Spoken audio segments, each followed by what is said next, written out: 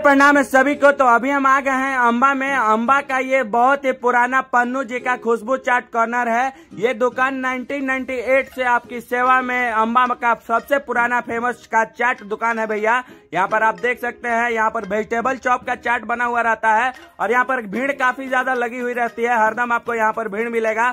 और भैया यहाँ पर देख सकते हैं, दो प्लेट मैंने हाफ़ और दो प्लेट फुल लगवाया है। और हाफ़ में एक वेजिटेबल फुल में दो वेजिटेबल लगा के चाट बनाते हैं भैया। और यहाँ पर भैया ने सबसे पहले चाट को फोड़ दिया है। और यहाँ पर भैया छोला को मिला रहे हैं। छोला मिलाने के बाद भैया ने यहाँ पर सर्व किया है। और आप बनाते हुए देखिए भैया का तरीका।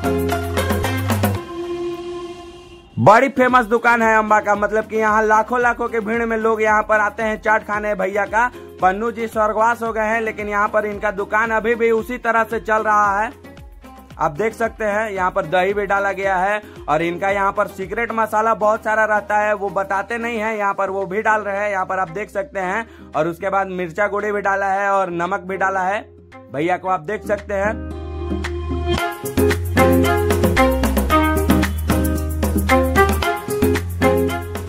उसके बाद भैया ने यहाँ पर प्याज डाला है, प्याज को अच्छे से यहाँ पर फैला दिया है। उसके बाद सेव भी ऊपर से डाला है, यहाँ पर आप देख सकते हैं।